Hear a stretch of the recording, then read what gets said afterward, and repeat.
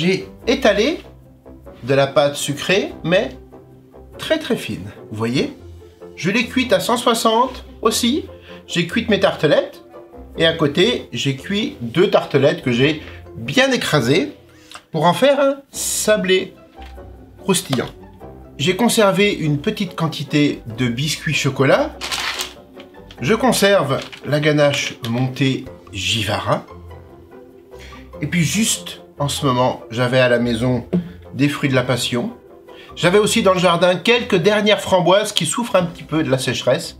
Mais vous allez voir, entre tout ça, je vais faire un petit dessert très sympathique.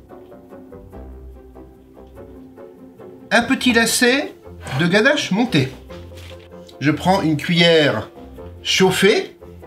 On ne racle pas, on fait juste, regardez, un beau copeau de mousse chocolat. Je la prends et hop,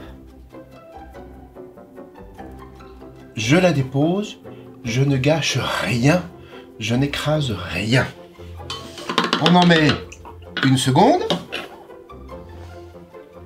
Regardez, je prends la cuillère, je prends juste de la mousse et hop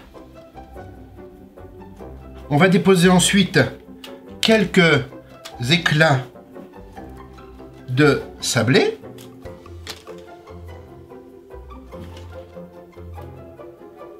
Voilà, on essaye de disposer cela avec beaucoup d'harmonie.